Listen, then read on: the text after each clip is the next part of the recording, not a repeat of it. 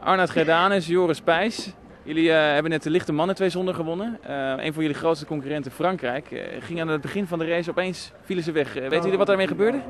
Nou, ik weet. Joris zei iets van een snoek. Ik zag volgens mij al dat een van die gasten bij het in, bij, na het wegen al een beetje aan het fietsen was. En dan was een beetje met zijn been bezig. Ik weet het niet, maar ergens op de 200 of zo, toen stopte ze met roeien. En Joris was even een beetje aan het twijfelen. En toen zei ik niks aan de hand en toen gaf ze eigenlijk gewoon door.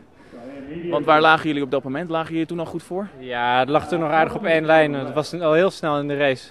Maar toen ik zag dat ze lieten lopen, dacht ik wel van, nou, nu moeten we echt uh, nu moeten we kunnen winnen.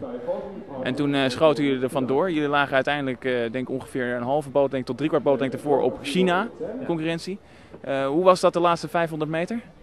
Nou ja, ik had het idee dat we gingen ongeveer nek aan nek, maar ik wist wel dat het, uh, als we nog even een goede, goede push zouden doen, dat ze dan wel af zouden haken. Dus we zijn ook redelijk snel op 1500 meter uh, echt even gas gegeven. En toen, uh, nou ja, toen waren ze inderdaad, was het verschil wel gemaakt. En toen hebben we gewonnen. En nou weet ik toevallig dat jullie in Belgrado 6.30.00 hebben genoteerd als nieuw Nederlands record. Echt de snelste Nederlandse lichtzweezonder ooit. Maar volgens mij zijn jullie nu weer ondergedoken, of niet? Ja, dat, uh, dat, bleek zo, ja. ja. Ik had absoluut geen idee hoe hard het ging. Het was wel natuurlijk een beetje mee en er is gisteren natuurlijk ook al een paar uh, snelle tijden gevaren. Maar eigenlijk is zo'n race het enige waar je mee ben, ben, bezig bent, is uh, je puntje voor die andere boot drukken. En dat was in dit geval China. En gelukkig pakte dat goed uit.